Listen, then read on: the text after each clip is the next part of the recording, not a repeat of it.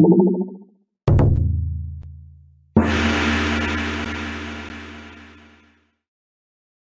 さんこんにちは。囲碁が大好きなカラステングクーロンがお送りする囲碁の話。今回は囲碁旅シリーズ市ヶ谷駅囲碁モザイクアートを紹介します。皆さんは東京都千代田区五番町にある JR 東日本市ヶ谷駅に囲碁のモザイクアートがあるのをご存知でしょうか？市ヶ谷駅がある場所は江戸時代江戸城外堀の市ヶ谷門があったところで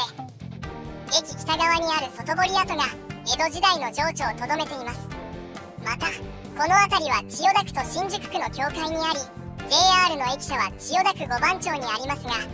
地下を通る都営地下鉄の市ヶ谷駅の住所は千代田区九段南4丁目。東京メトロは新宿区市ヶ谷田町1丁目となっています。囲碁モザイクアートは JR 駅舎の改札を入ってすぐの床に描かれていて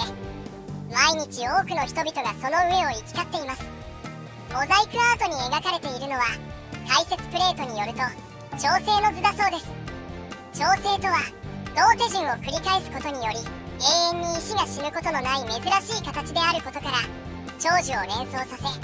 縁起のいいものとされています。